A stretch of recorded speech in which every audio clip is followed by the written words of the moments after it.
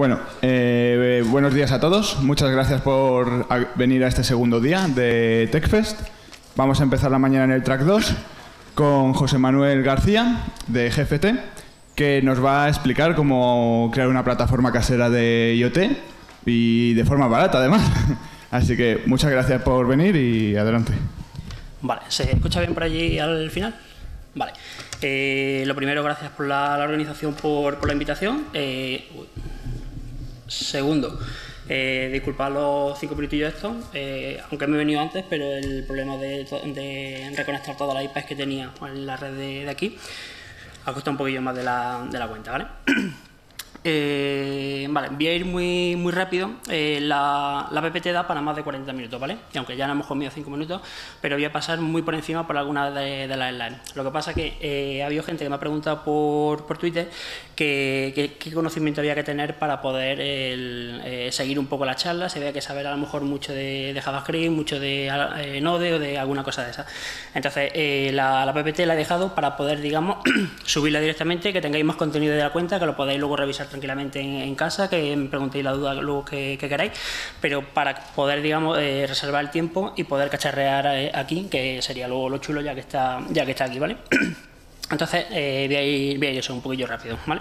Aparte de eso, soy, soy cordobés, entonces el andaluz, me como las palabras y optimizo. Así que también va a ser ahí el correr un poquito, ¿vale?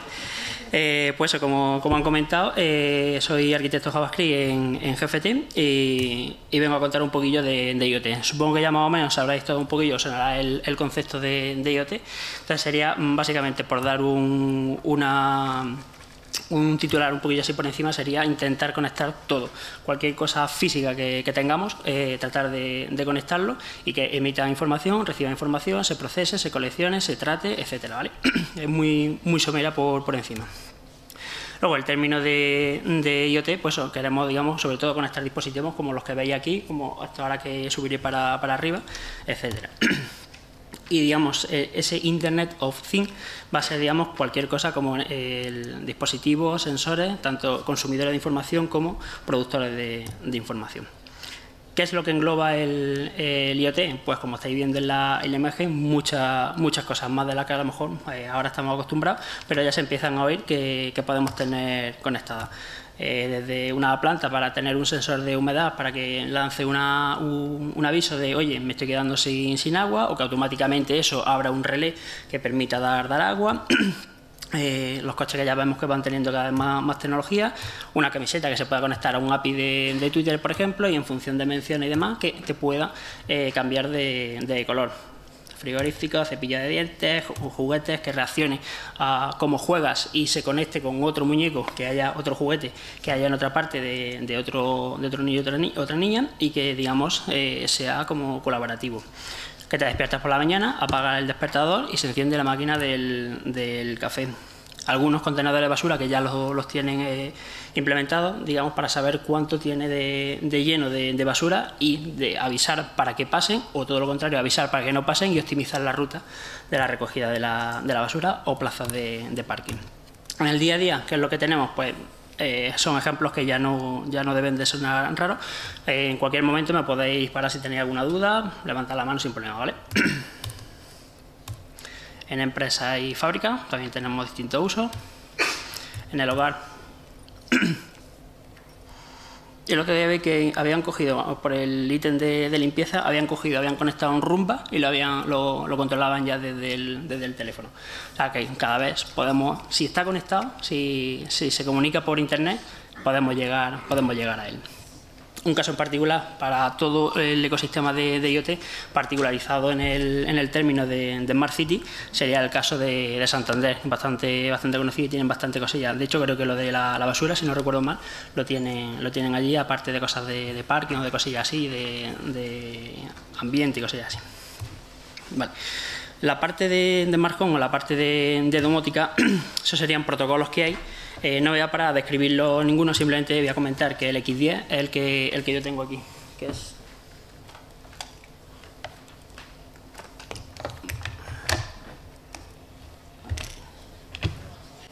ahora se desenchufa y la liamos.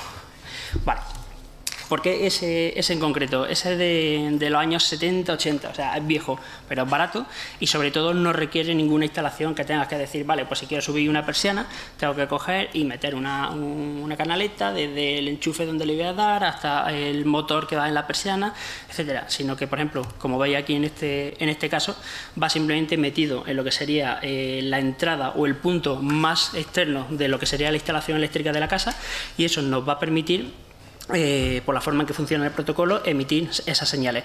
Si, sabemos que la, la, onda de lo que sería la, red eléctrica eh, tiene, digamos, bueno, forma, de onda, lo que hace este protocolo es que mete a otra frecuencia distinta su propia onda para enviar esa información. Entonces lo que hace es que sobre esa que se llama portadora, él envía los datos. ¿vale? Eh, tiene que meter bastante redundancia, como veis aquí, porque todo lo envía por duplicado. Primero, en la parte de la izquierda está el 2 con el 2, sería el comienzo del mismo comando repetido. Luego hace 3 de pausa y luego otra vez vuelve a repetir el comando. Se identifica por un código de casa que le llaman ellos y un número. Entonces, el primero correspondería, si voy a llamarle la, letra de la casa una A, se corresponde a la A y el segundo tramo a partir de la pausa sería el número. En concreto, por ejemplo, este le he dado, creo que ha sido el A4. Entonces, ahora cuando empecemos a interactuar con él, eh, él lo que va a hacer va a ser enviar una señal de A4, eh, enciende o apaga o baja el brillo o lo que sea. Dentro también de, todo, de todo esto está saliendo ahora la, web física o luego también como se conoce el, el Nervi. Es decir, intentar extender más allá de lo que sería un navegador, que es lo que estamos acostumbrados, el poder interactuar no solamente con un servidor, sino poder decir, oye, que es que desde el teléfono, desde mi navegador, desde mi lenguaje del navegador, yo puedo llegar ya a cosas físicas, pues de ahí también el, nombre. En el caso de, podemos, por ejemplo, el, los de aquí estarían compartiendo información, compartiendo archivos. El de un poquito más para allá estaría eh, sacando información a través de, de, un cuadro, etcétera. Pero lo que cambia es, digamos, que no es como el QR que yo llego y yo activamente es el que escaneo ese código, sino que al revés, él, digamos, me envía al estar emitiendo, es el que me dice, oye, tengo esta, este ID o este, tengo este, este, identificador de baliza y tómalo y tú ya con eso haz lo que quieras. No vamos a entrar en más detalles si Beacon, Edistone, todo eso, pero simplemente un poco por, porque tengáis la, visión de, todo, un poco de contexto. Entonces vamos a hacer nosotros nuestro propio producto, ¿vale? vamos, aunque sea un poquito casero, pero oye, si nos sirve, vamos allá. Vale. ¿De qué se compone? De hardware y de software. En la parte de, del hardware, ¿qué es lo que vamos a, necesitar? Pues, por ejemplo, una placa. ¿Cuáles podemos tener? Arduino, de las más conocidas, de las primeras que, salió, la Raspberry, en cualquiera de sus tres versiones, eh, la Intel Edison, aquí simplemente eh, que esta va a ser la que vamos a utilizar, un poquito de spoiler, pero bueno, esta es la que vamos a utilizar. Entonces, veis que el chip es lo que está un poquito como por encima. Lo de debajo es una de las posibles placas sobre las que van, ¿vale? Él solo no, por sí no, va a funcionar, ¿vale? Simplemente porque luego viene otra imagen donde viene otra placa de expansión que es esta, que es más, ancha, pero para que tengáis ese, ese detalle. La Galileo que va un poquito acompañando a la Edison y la, y la Tesla, ¿vale? Esto me lo voy a pasar porque es simplemente característica y como ya tenemos una elegía, pues simplemente para que lo tengáis de, referencia. Eh, esta imagen la he puesto para que veáis realmente el tamaño de lo que, de lo que es propiamente la, Edison, de lo, que, de lo que cabe y en la imagen que hemos visto anteriormente, eso ya de por sí es operativo. Eso ya tiene su, su puerto USB para poder eh, meterlo en cualquier aplicación que nosotros queramos, queramos utilizarlo, ¿vale? Entonces, para que veáis en comparación de las otras placas el, la diferencia de, tamaño, ¿vale? Entonces, si ya tenemos la placa, que lo que necesitamos ahora, pues lo siguiente, los sensores. Sensores hay a porrillo, tropecientos. Eh, yo traía solamente 6 o 7, pero verás que por, por haber hay todos los que los que quiera. Temperatura, humedad, oxígeno, alcohol, eh, eh, de corriente eléctrica, de magnetismo, de. O sea, un montón incluso médicos, tenemos también de, creo que era de temperatura, de la huella, de, mm, de qué más, el electrocardiograma, pero los de allí, eso no me acuerdo ahora mismo que, eran, medían como la impedancia de la, de la piel o algo así y sacaban ahí un, un valor. Como yo de medicina no entiendo, pues lo dejamos ahí. Vale. podemos directamente a un bajo nivel trabajar con, con, los pines, decir, pues yo configuro este de entrada, este de salida, etcétera, como, eh, como haría la gente que entiende más de esto, o a un más alto nivel, que es donde yo me lo quiero llevar, porque yo no soy ni electrónico ni, ni teleco, que a lo mejor ven algo más de eso, sino yo prefiero datos, eh, objetos de más, más de más alto nivel para poder para poder tener eh, sencillez y simplicidad, no tener que, perderme en detalles, ¿vale? Entonces, con este tipo de, de placas, que en este caso es esta de aquí, ya me va a dar, digamos, como configurados los pines y yo no tengo que empezar a decirle uno a uno, este lo quiero de tal o este lo quiero de cual. Evidentemente, si es solamente un LED, sí, le voy a decir solamente este pin es el que estoy utilizando, ¿vale? Parte software. Podemos, como en todos los lenguajes de programación, utilizar un framework. Uno de ellos sería eh, JS que es bastante conocido y tiene sobre todo la potencia de un montón de, plataformas donde se puede, donde se puede utilizar. Eh, por ejemplo, tenemos por ahí la Intel está también Arduino, está también Raspberry, está también la Philly, creo que es la bombilla que vosotros habéis tenido en el hackathon ahora hace poco. Eh, algún dron por ahí y también un MIP que junto con Adrián y Pablo, dos compañeros que están aquí, hicimos también una aplicación en Angular para, con NativeScript para, para manejarlo. ¿vale? O sea, todo al fin y al cabo se mueve con, con JavaScript y ese es un poco el, el, hecho de también mostrar que no hace falta bajar a un C, a un C++ o a ese, a ese nivel para poder trabajar con, con cosillas más electrónicas. ¿Voy muy rápido? Bueno. por lo menos ya he dicho que no es que prefiero que me sobre tiempo para el final que, no por aquí. Vale, sería un ejemplo tan sencillo como decir, me, me instanciona una variable, bueno, partiendo del, paquete, me lo, me lo recupero de, de Node Modules y lo que voy a hacer va a ser simplemente decirle en qué puerto está conectado, que sería el, barra dev barra ttfm y a partir de ahí él ya sabe cómo interactuar, porque por debajo ya él me quita los detalles de de implementación. Le voy a decir que voy a tener un driver que va a ser el LED, que está en el pin 13, que yo lo habré previamente colocado ahí, y cuál va a ser lo que va a ejecutar él, en lo que está en la parte del work, que va a ser esa función, que automáticamente él ya incluye funciones de alternar, si es un LED, de recuperar tal cosa, sea un sensor de, entrada, y para ejecutarlo, pues Node y el, y el fichero.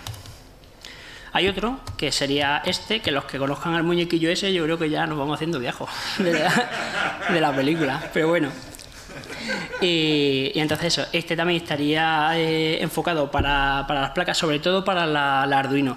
Hay otras, como comenta ahí la, captura, que a través de otros plugins dan soporte, pero digamos esta está como más especializada o más focalizada en, en Arduino, ¿vale? Pues lo mismo, instalaríamos ahí esas dos dependencias y luego el código, sí, es verdad que queda un poquito más, más compacto, ¿vale? Pero al fin y al cabo, código JavaScript, código sencillito, se ejecutaría con Node Sample y oh, solo JavaScript, ¿eh? No hemos tenido que bajarnos a más de, a más de ahí, no hemos tenido que ver nada de, C, no hemos tenido que ver nada de compilar, de hacernos un Mac, nada de, nada de eso, ¿vale? Entonces, un poco también entender que ya desde más alto nivel estamos llegando a un nivel más cercano al, hardware y mola y vamos a verlo. Vale. Entonces, ¿cuál podría ser nuestra arquitectura? Pues podría ser la capa más inferior, que serían los sensores, que sería donde estarían actuando, o lo más externo a nuestra aplicación. Por encima estaría luego la, eh, la placa, donde está, o sea, la plataforma donde correríamos a Node. Encima de Node correría nuestra aplicación y nosotros simplemente ya luego interactuaríamos con ella. De los que hay aquí, ¿quién ha trabajado con Node? O sea, perdón, ¿quién no ha trabajado con Node, mejor dicho? Vale, bastantito. Y con JavaScript, en frontend, ¿quién se dedica al día a día? Vale. Vale. Para saber un poquillo más o menos cómo, cuánto profundizar y, tal, ¿vale? Pues esta es, la, esta es la placa, que sería lo que hemos dicho, se montaría luego ahí en el, en el encapsulado y luego una vez que está encapsulado atención, abría los ojos, que va a ser, mira, encajado, ¿vale? Y eso va a ser lo que también me va a abstraer de los detalles de decir, vale, configuro este pin de entrada, este pin de salida, sino que ya automáticamente me da, no sé si, sí, se ve más o menos bien, que aquí en la parte de más externa se ve a 0, a 1, a 2, a 3, esos serían los puertos analógicos, o sea, yo ya me despreocupo de todo lo demás, yo sé que ya enchufándole ahí el cable, como por ejemplo estos de aquí, ya me van a dar la lectura eh, solamente diciéndole, dame, eh, o sea, léeme ese valor o escríbeme un valor para luego encender o apagar un LED, ¿vale? Esto lo paso un poquito más, más deprisa. Podemos utilizar de bajo nivel, como decíamos, yo configuro un, pin, le digo en qué dirección va a ser, si es de entrada o es de salida, y luego ya o escribo o leo en función de la dirección del pin. Si lo quiero hacer con, la otra librería de más alto nivel, pues ya como veis, el, eh, la propia librería ya me da un group LED, o sea que ya me da un propio objeto que ya entiende cosas de LED, que ya tendrá su on y su off, por ejemplo, ¿vale? Entonces ya tengo mi objeto con el que puedo interactuar. Aquí venía una demo, entonces se veía chulo que decía, oh, mira cómo enciende un LED ahí con cuatro líneas de JavaScript. Entonces, ¿vale? Pero bueno, vamos a intentar hacer ese, uh, ¿vale? Bien, sensores. Tenemos por un lado el de, el de luz. Eh, como he dicho, eh, al estar aquí todos los ejemplos lo podéis ver con más detalle. Si tenéis dudas me podéis preguntar. Si me veis luego en el pasillo me podéis parar sin, sin problema. Ahora, como vamos a apretar yo de tiempo, prefiero ya empezar a, verlo porque vamos a ir apretado de tiempo. Vale, tenemos de, LED, como hemos visto, eh, de, de táctil, de temperatura, pulsadores normales, un buffer con este vamos a intentar hacer una demo y vamos a intentar no terminar así, ¿vale? Ahora, veréis el, el porqué, pero bueno. Eh,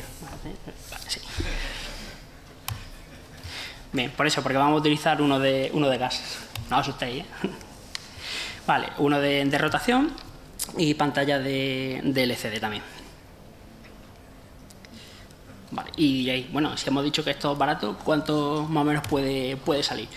Pues salvo la placa y lo que sería la, expansión, que sí es un poquito más cara, eh, lo demás no son precios muy, muy desorbitados, ¿vale?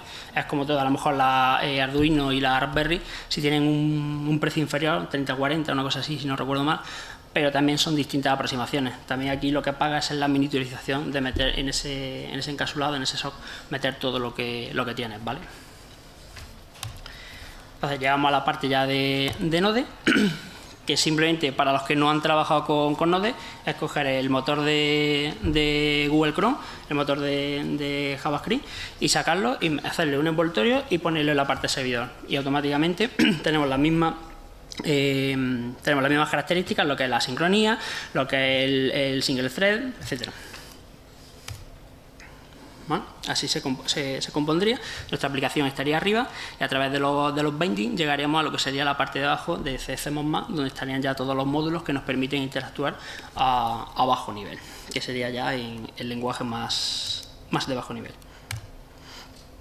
Muy rápido sería nuestra aplicación JavaScript, tal lo que hemos visto en los ejemplos anteriores, sería yo ejecuto mi aplicación, eso lo va a coger eh, Node, va a pasar ahí el código, a través de, los binding va a decir, vale, pues necesito eh, pasárselo a las librerías de bajo nivel, que son las que van a gestionar eh, el tema de la, de la, sincronía, por ejemplo, la libuv.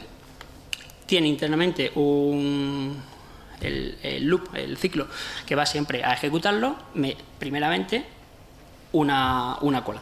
Cuando ya ha llegado ahí lo que yo quiero ejecutar a esa, a esa cola, va a decir el, el, bucle, vale, se lo voy a pasar a mi worker. ¿Por qué? Porque lo que yo hago es solamente despachar. Yo se lo voy a dar a otros que son los que van a hacer el trabajo pesado. ¿Por qué? Porque esas operaciones bloqueantes yo no las quiero hacer lo que es el sentido de, JavaScript.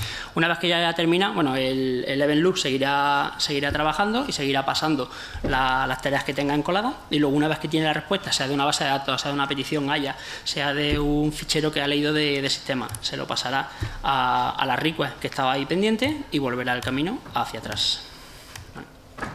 Y eso es explicado muy rápido. ¿Cuál es la analogía? Starbucks.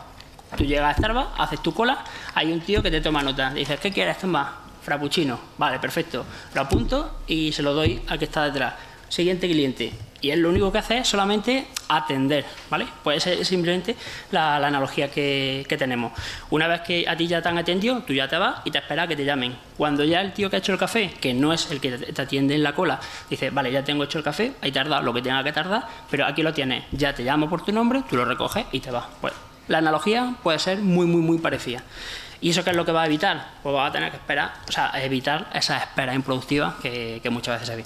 No tiene que ser a lo mejor necesariamente una espera improductiva a nivel de navegador, pero espera improductiva a nivel de ejecución de donde está, de donde está Node. Entonces, vamos a ver ya un poquillo más de código. Dentro de Node, como un servidor que, es, podemos hacer muchas cosas. Entonces, con estas líneas de, código vamos a hacer un, servidor que, eh, en, ese, caso en concreto de la, de, del snippet que estamos viendo aquí, sería una, eh, capturar el verbo get a una petición de barra test hacer lo que tenga que hacer y devolvería simplemente un OK, ¿vale? Y estaría escuchando ese servidor en el puerto 3000, para así un poco quien no haya trabajado con Node, que sepa un poco lo que está haciendo. Si lanzamos una petición GET sobre esa dirección y ese puerto, nos la atiende ese fragmento con la lógica que haya en esa, en esa función arrow. Y eso, eh, oh, ¿Por qué? Porque con cuatro líneas, como quien dice, tenemos ya levantado. O sea, es menos verboso a lo mejor que hacerlo con un, con un Java o hacerlo con, con otra aproximación, ¿vale? Y ahora ya sí, vamos propiamente al, al cacharreo. Vale.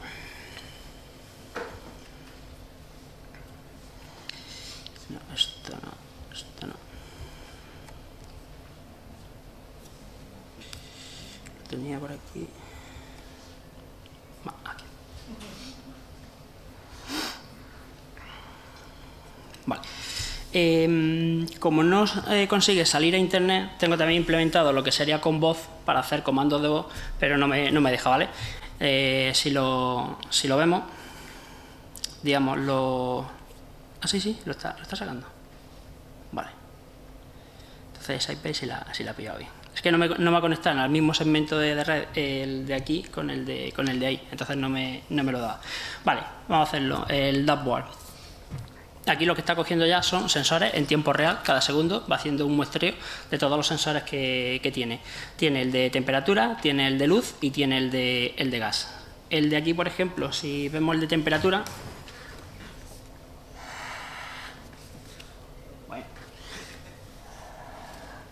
un poco cutre, pero bueno, más o menos lo hace, ¿vale? Hombre, un 3 de agosto a lo mejor sí, sí lo hace un poco mejor, ¿vale? Ahora nos venimos al de luz. El de luz está aquí. ¿Vale? Está midiendo ahora mismo valores en lux. Arriba en la parte de la cabecera del diagrama, ahora mismo tendría los 13 lux, 9 lux. Si yo le quito la mano, ¿vale? Ya subiría a valores más, altos. Entonces, para que veáis que lo, que lo más o menos lo mide. Y ahora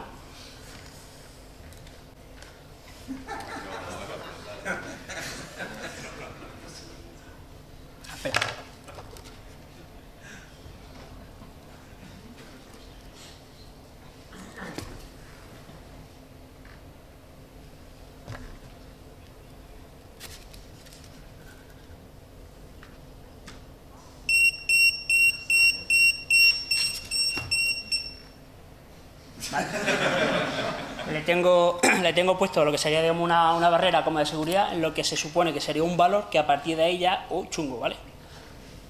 A ver si lo hacemos otra vez.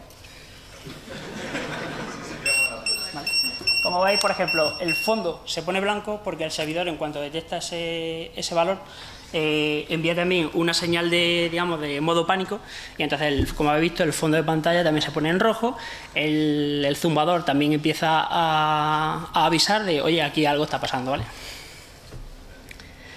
Vale, eso sería lo que sería en sensores.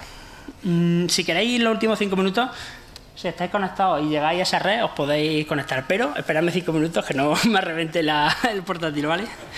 Que no sé, digamos, cuánto, cuánto aguantará por el, propio Node te aguanta muchas peticiones, pero lo que no sé es lo que lo aguanta ahí, ¿vale? Entonces, luego, sensores. Vale, tendríamos el, el de ángulo, que estaría, estaría aquí. Aquí si yo lo giro.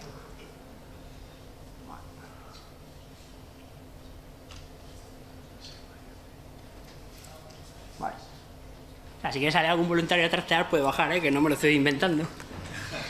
Y ahora, vale, tengo por aquí también uno que es el de... El de, el de, aquí. El de pulsador. Ahí está.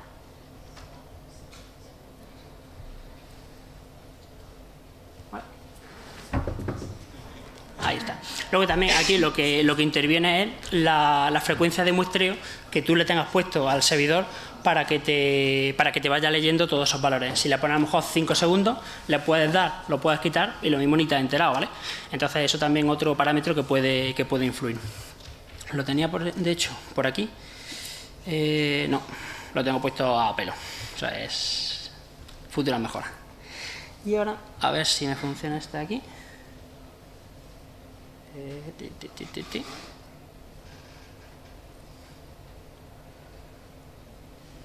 Ah, sí, claro, ¿eh? aquí. No sé si se, si se aprecia. ¿Veis el ledecillo este?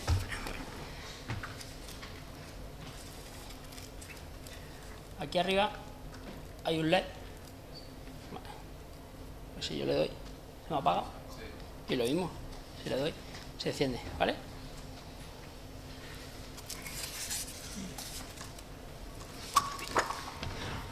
Ya, ya venimos a los chungos. ¿Vale? Aquí.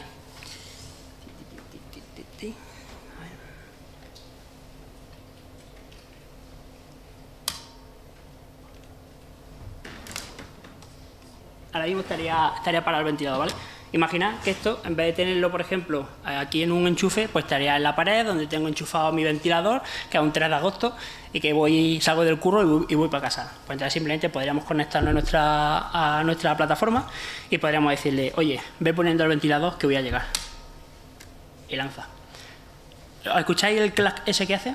Porque internamente tiene un relé que lo que hace es que eso, que cuando eh, le envía una señal de bajo voltaje, él es capaz de actuar sobre una señal de alto voltaje, ¿vale? ya es el funcionamiento del, del, relé. También le tengo configurado aquí el, número de la casa y el número del, del eh, la letra de la casa y el número de, de, la unidad para que él, digamos, interactúe. Y lo mismo, si le quito, y ahora Vamos a ver.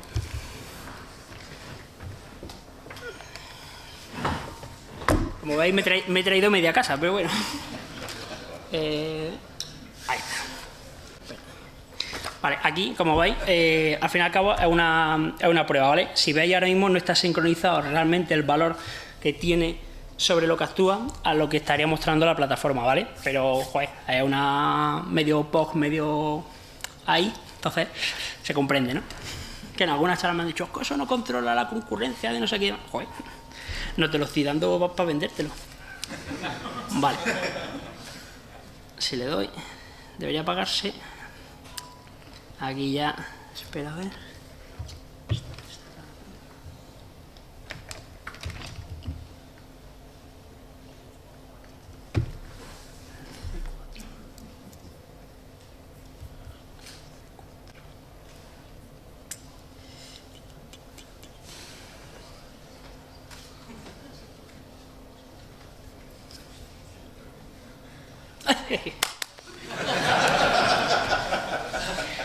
Digo, ya Lady Murphy, efecto de voz. Vale, vale. ¿eh? Bueno, vamos a intentarlo, a ver si ahora no me deja mal. Vale, vale. ¿Qué diferencia hay este con, el, con respecto al anterior? Que este, si yo le doy, no suena. ¿Por qué? Porque es distinto. Porque este es de interruptor, de hecho así, así se llama. Y si bajáis luego por aquí a verlo, lo, lo vais a ver aquí serigrafiado. Eh, uno es de interruptor, digamos, y otro es de lámpara. Es decir, este de lámpara tiene además eh, funcionalidad como eh, feature, ¿no? como capability de, de, decir bajar brillo y subir brillo. ¿vale? O sea que probablemente como una lámpara, como muchas lámparas está de pie, que tiene el interruptor y le sube y le baja el, brillo. ¿vale? siguiente. A ver. Yo tengo ahí, por ejemplo, ahí cuatro, cuatro canciones aleatorias. las primeras que, que he pillado y yo puedo decirle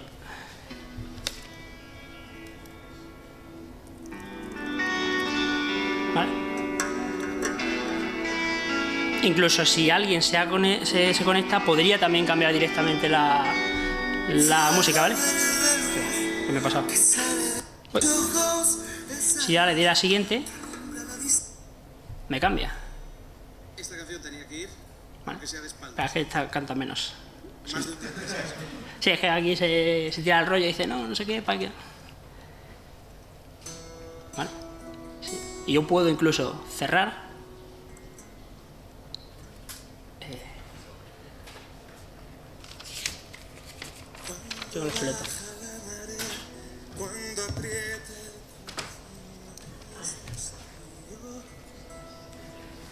Reproducir música.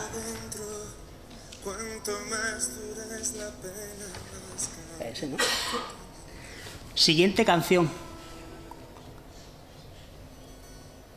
Esta canción tenía que ir, aunque sea de espaldas. Más de. Parar música. ¿Se ha parado? Sí. ¿Le digo? Sí, sí, se ha parado, se ha parado. Y ahora, reproducir música.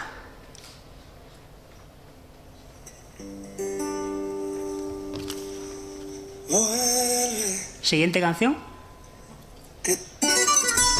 Es que quería cerrar con esto. Va. Vale, ahora.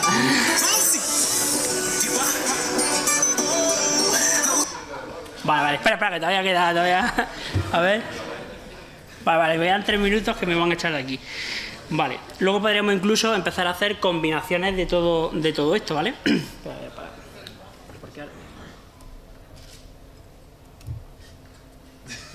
Qué inteligente soy.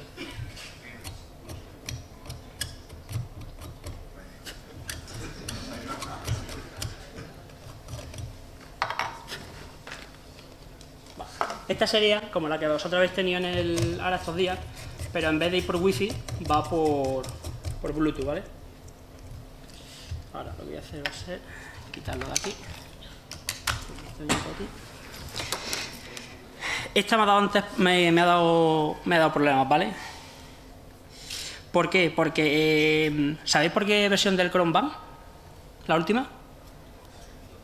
56. Esa ha sacado un cambio en el que para poder utilizar la, la web física, lo que sería la parte del, del Bluetooth, necesita o atacar a localhost o necesita eh, tener un HTTPS con, digamos, eh, o sea, en plan de, vale, Chrome dice que se asegura. ¿Qué pasa? Como la mía no asegura ni de coña, pues no voy a mm, en principio no me, no me ha dejado. Em, para eso, eh, digamos, como que te puedes pedir un token, te dura como dos semanas, creo que era, y a través de esa, de esa URL la das de alta y él, digamos, como que te verifica que durante, o sea, en plan modo, modo developer, ¿vale? Y. Es que no sé. Porque lo, lo he intentado montar aquí también en. En local, ¿vale? O sea, súper cutre, pero si yo le doy aquí. Ah, me dice habilitar Bluetooth, bien, bien, funciona bien. Aquí me está ahora empezando a escanear.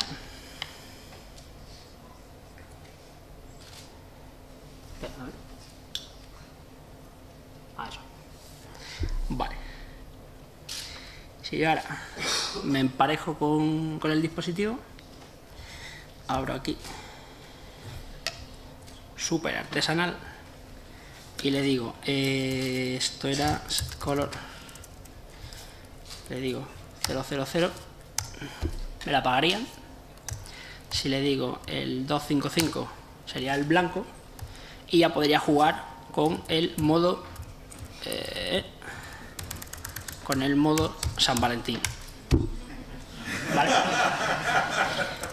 Y si eso lo juntas con reproducir música, ah no, aquí no, aquí. eh. reproducir música. Ay, ya he sido estresarlo mucho. Vale, de esta forma eso, la librería esta, ¿ves? Cada vez que yo voy hablando me va, me va cogiendo todo, todo lo que habla. Tiene luego también un modo que es de pausarlo, ¿vale? Que sería em, em, duerme, creo que, creo que era, como lo llamo. Podemos hacer así rápidamente. Lo sé, sé que ya me tengo que ir. ¿Ves? Mira.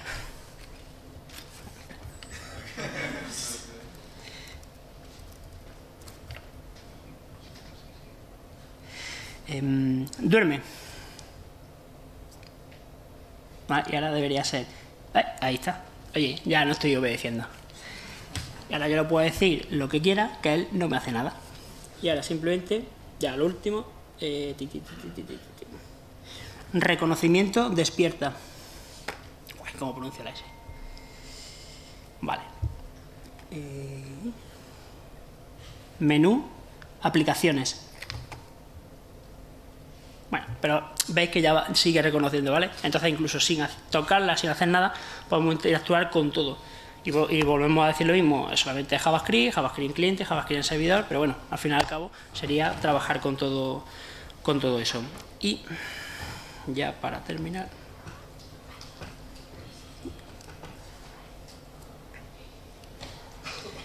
Eh, vale.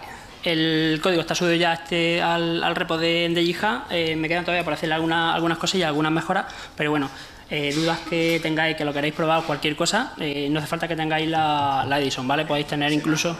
¿puedes quitar, por favor? Ah, sí, sí, sí, sí. Y, y sin por favor también. Ah, espera. Ahí. Vale, así que ahora si tenéis dudas, insul- insultos, preguntas y demás, si no es ahora, después y cualquier cosa, porque vamos justos de tiempo, ¿vale? Así que si os he aburrido mucho, ahora cuando empecéis a aplaudir, se despierta y dice, venga. Muchas gracias.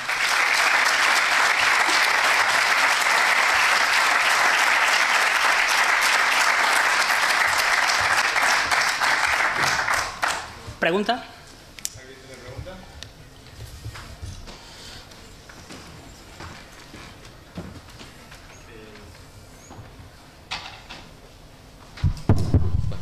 Que bueno, hay una plataforma, me parece, en web que se llama Finger.io.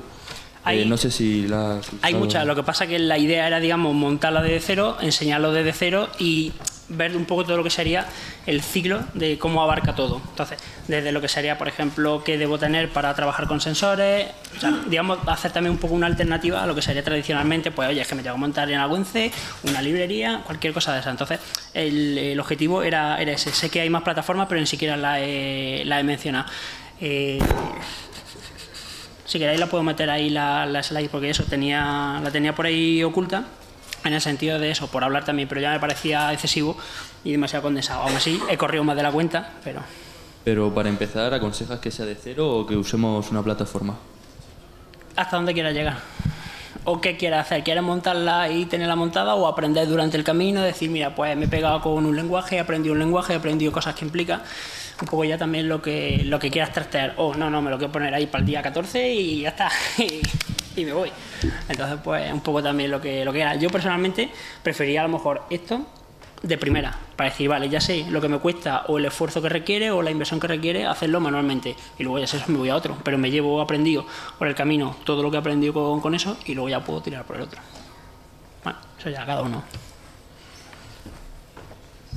Buenas. Que eh, no me ha quedado claro cuáles qué son los aparatos blancos que están conectados a la regleta. Ah, vale, estos son los del protocolo, los del protocolo X10. Entonces, estos son los que permiten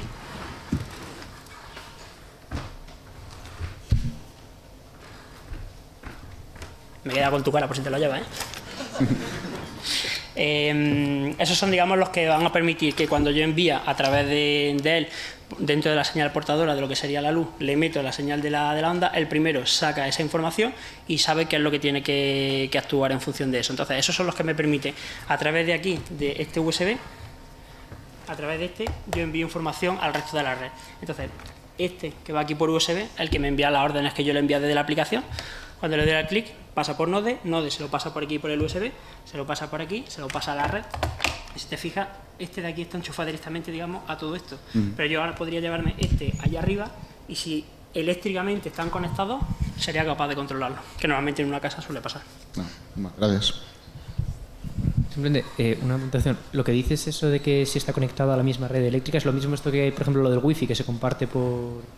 El, wi- lo de- pero PLC o Wi-Fi como Wi-Fi normal. A ver, teóricamente yo me lo he comprado para casa. Es de esto que conectas un aparato parecido a uno de esos al router. serán los PLC, los PLC, ¿no? Vale, no, esto va un poquito distinto. O sea, no se parece en cuanto al cacharro, en cuanto a la forma de trabajar con él, pero sería utilizarla como portadora, pero no para el, o sea, para esto sería. Bueno, muchas gracias.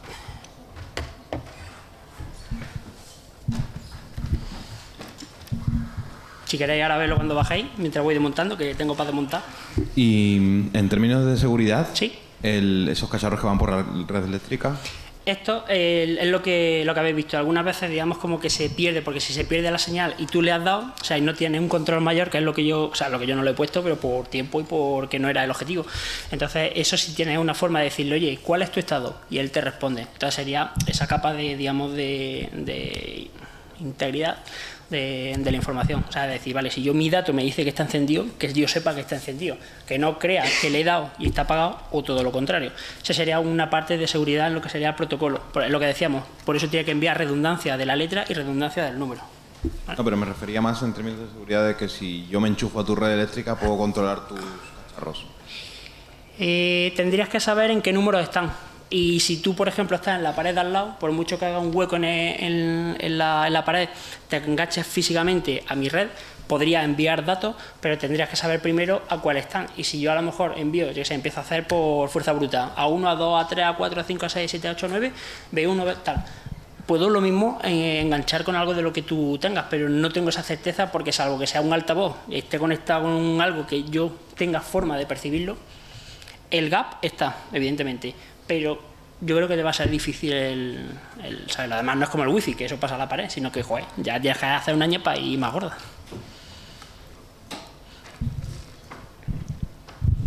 Sema, que, Sí.